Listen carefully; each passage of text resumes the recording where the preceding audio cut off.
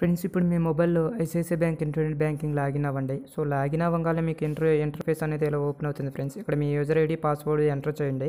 Enter చేసి కింద లాస్ట్లో లాగిన్ అని కనపడుతుంది. సో దాని మీద ట్యాప్ చేయండి ఫ్రెండ్స్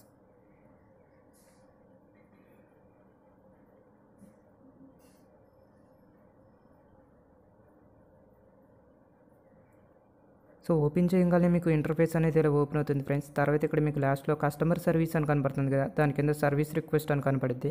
సో ఆ సర్వీస్ రిక్వెస్ట్ మీద ట్యాప్ చేయండి ఫ్రెండ్స్. సో దాని మీద ట్యాప్ చేయగానే మీకు ఇక్కడ లాస్ట్ నుంచి సిక్స్త్ ఆప్షన్లో convert your savings account to salary account అని ఉంది కదా దాని మీద ట్యాప్ చేయండి ఫ్రెండ్స్.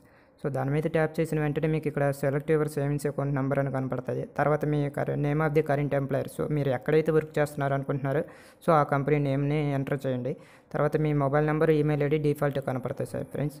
సో తర్వాత ఇక్కడ మీకు నోట్ అని కనపడుతుంది కదా friends. Please submit this request only after salary is credited to your account from the new employer అని. సో మీది ఏదైతే సేవింగ్స్ అకౌంట్ అప్డేట్ చేసుకోవాలనుకుంటున్నారో శాలరీ అకౌంట్ కింద సో ఒక వన్ మంత్ అన్న మీ శాలరీ అకౌంట్ అనేది దాంట్లో క్రెడిట్ అయిన తర్వాత మీరు ఈ రిక్వెస్ట్ అనేది రైట్ చేయండి ఫ్రెండ్స్. తర్వాత ఇక్కడ I have read terms and conditions అని ఉంది కదా. సో ఆ బాక్స్లో టిక్ మార్క్ ఇచ్చేసి లాస్ట్లో సబ్మిట్ బటన్ మీద క్లిక్ చేయగానే మీ సేవింగ్స్ అకౌంట్ అనేది శాలరీ అకౌంట్ కింద